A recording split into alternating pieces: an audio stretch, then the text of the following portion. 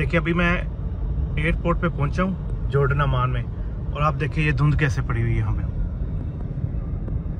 सूरज नज़र नहीं आ रहा। और ये सुबह के दस बज रहे हैं, तकरीबन।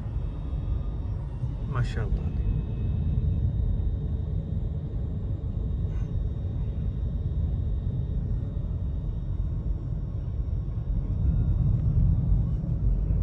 धुंध देखे कितनी पड़ी हुई है जॉर्डन अमान में।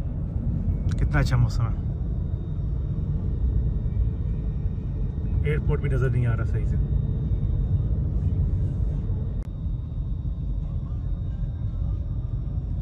आप एयरपोर्ट का मंजर देखें इंट्रेस्ट होने के लिए कितना प्यारा है।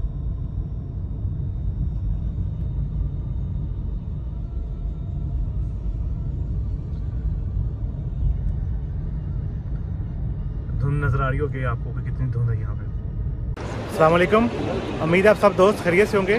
मैं इस टाइम मौजूद हूँ अमान एयरपोर्ट में जॉर्डन में। आज मेरी वापसी की फ़्लाइट है रियाद के लिए। आ, अभी जब मैं रास्ते में आ रहा था यहाँ पे बहुत धुंध थी। मौसम अच्छा है टेम्परेचर भी बहुत अच्छा है। और रास्ते में गाड़ी भी नज़र नहीं थी आ रही कुछ जगह में ना। तो रास्ते में जब हम यहाँ पहुँचे तो एयरपोर्ट भी क्लियर नज़र नहीं था आ रहा। तो मेरा कैसा एक्सपीरियंस रहा? मैं आपके साथ सारा अपना एक्सपीरियंस जो है शेयर करूँगा। जॉर्डन के हवाले से मैंने कौन कौन सी जगह घूमी हैं, उसके हवाले से। चले मैं अभी आपको एयरपोर्ट दिखाता हूँ। यहाँ से भी अभी आप अमान एयरपोर्ट से धुंध देख सकते हैं कि कितनी धुंध है। माशाल्लाह एयरपोर्ट बाहर से भी बहुत खूबसूरत है, बहुत बड़ा एयरपोर्ट है ये।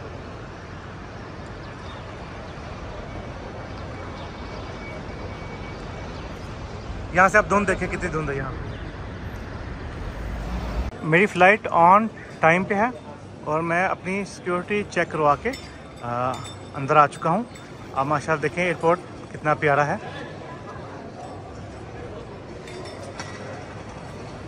माशाल्लाह एयरपोर्ट तो बहुत बड़ा है। अभी हमारी फ़्लाइट का बोर्डिंग काउंटर जो है ओपन हो चुका है। बहुत बड़ा एयरपोर्ट है और बहुत खूबसूरत भी। मैं अभी अपना बोर्डिंग पास लेने के बाद वेटिंग एरिया में आ चुका हूँ। माशाल्लाह देखिए, कितना प्यारा एयरपोर्ट है।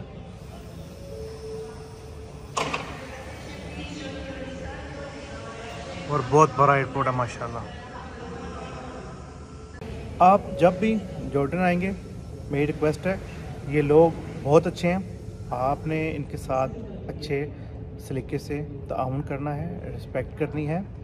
इनमें वो चीज़ नहीं है कि आपको कुछ बोलेंगे और बाद में कुछ करेंगे राइट लेफ़्ट वाला कोई सीन नहीं है। आप कभी भी इसमें, इस जॉर्डन के बारे में ऐसी कोई बात नहीं सुनेंगे जैसी आप इजिप्ट के बारे में सुनते हैं। यहाँ पे आप ऊबर टैक्सी यूज़ करें, सबसे बेस्ट है। लग्जरी तरीन गाड़ी हैं। कल मैंने ऊबर आज जब से मैं आया हूँ, मैंने जब भी ऊबर की है, अच्छी गाड़ियाँ ही आई हैं, ठीक है? वॉक्स वैगनर भी आई है बी आई है। और कल तो मैं हैरान था कि टेस्ला आ गई भाई। ठीक है? मैंने उसकी एक छोटी सी वीडियो बनाई हुई है। शॉर्ट वीडियो में मैं डाल दूँगा। कि टेस्ला एज आ ऊपर यहाँ जॉर्डन में चल रही है। आप यहाँ से हिसाब लगा लें कि इनकी इकानमी इनका रहन सहन लाइफ कैसा है। एयरपोर्ट पर जब अभी मैं आया तो जब उन्होंने मेरा सामान चेक किया तो उसमें मेरे एक हेयर जल थी, वो उन्होंने निकाल दी, कहते ये नहीं जा सकती। उसके बाद आपके पास इकामा होना चाहिए, छुट्टी का पेपर होना चाहिए, दोनों में से एक चीज़ हो जाए, उन्होंने मुकीम पे चेक करना होता है। मैंने, मुझसे उन्होंने काम नहीं चेक किया, मेरे पास एग्जैक्ट एंट्री का पेपर था, मैंने उन्हें दिया, उन्होंने जस्ट वो मुकीम से चेक किया और मुझे बोर्डिंग पास इशू कर दिया।